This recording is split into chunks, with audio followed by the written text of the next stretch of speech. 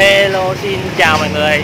Thì ngày hôm nay buổi sáng à, Mình sẽ làm một cái clip về phố đi bộ. À, Cho anh em thấy là phố đi bộ buổi sáng sẽ như thế nào. À, Thì à, đang ngồi xe đậu. Thì cái chỗ ngồi đây này.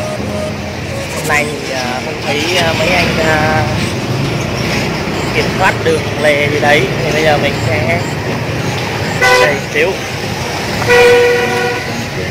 buổi sáng thì đa số là người à, mọi người đi làm. Đây thì à, họ tưới nước để cho nó đường nó phải rồi, thì mình cũng thấy à, vắng người, không có, gọi là, đông như buổi tối. Thì đa số là mọi người họ sẽ đi làm ở đây này. Đây cũng có những tòa nhà view cao.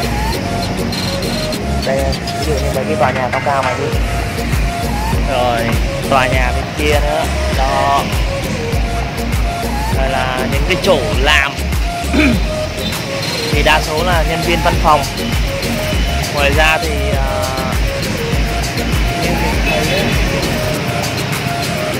ở đây thì hầu như là những người đang uh, đợi grab để cô việc theo. Không nó đi qua đường đấy.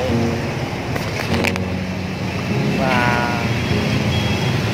thấy cũng khá là buồn khi mà buổi sáng này cũng không có cái gì để review cho mọi người, nhưng mà hôm nay cố gắng mình làm cho mọi người để biết được rằng là phố đi bộ buổi sáng mình sẽ có những cái gì.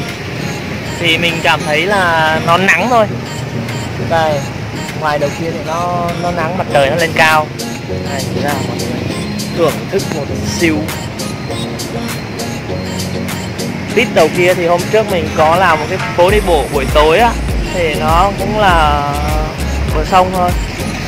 Còn ra giữa ngoài kia thì cũng chỉ là đường thôi.